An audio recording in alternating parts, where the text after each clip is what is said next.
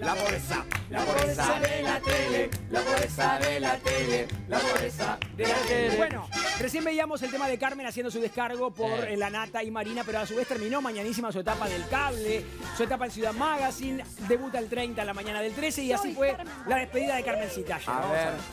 Pero qué bien, qué bien la pasamos. Agradezco todo, de verdad. hermoso. Agradezco a Coco Fernández, agradezco a Eugenia, a Farfán, a Pablo Codevila, a El Chueco, yo le digo, mi querido Adrián Suar.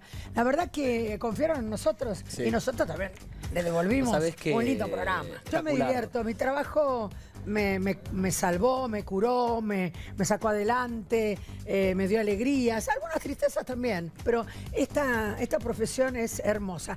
Y quiero dar un abrazo, les quiero dar un abrazo a los dos. Te quiero tanto, tanto, tanto. Nos vemos en el 13 a las 9 de la mañana con Mañanísima de lunes a viernes. Vamos a estar ahí luchando de- por el rating. Vamos por el rating.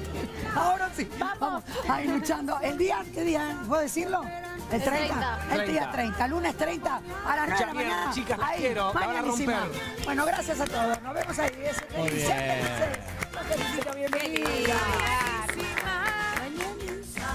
Y va a quedar Yuyito. Escucha, finalmente. Marina. Yuyito va desde el lunes. ¿Y con ¿Cómo se va a llamar el ciclo? Empezar el día. Empezar el Ah, día. qué Empezar el día. Y. Palmito continúa ahí de panelista. No, Pampito se ella. queda una semana haciéndole el aguante a Yuyito, después ya se retira. Ah. Y va para quedar intrusos, pero queda va a tener un nuevo equipo, Yuyito que lo está armando. Eh. Todo ha sido muy rápido. Todo ha sido muy rápido. Muy Pero. Carmencita debuta el día 30 acá en la mañana, la esperamos Sí. con todo nuestro corazón disponible.